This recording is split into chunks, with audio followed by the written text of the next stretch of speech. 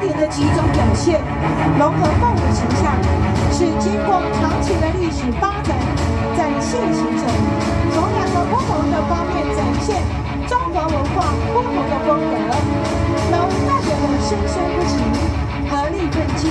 刚劲有力的理念，包含了们近距离的接触。历史性作品名称《自由之翼》，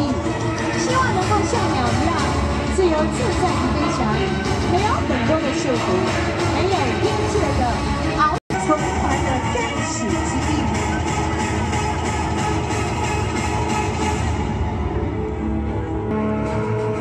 自由式作品名称，靠这说明现代人的审美观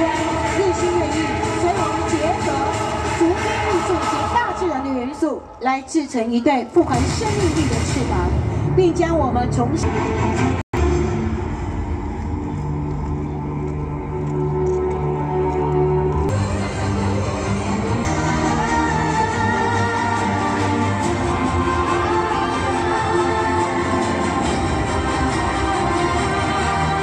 这是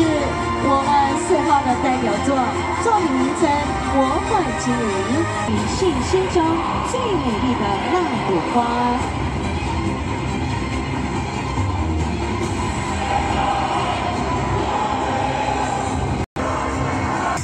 起，作品名称《九龙飞天》。特色说明：龙作为我们中国人独特的一种文化凝聚以及积淀，以扎根和深植于我们每个人的潜意识里。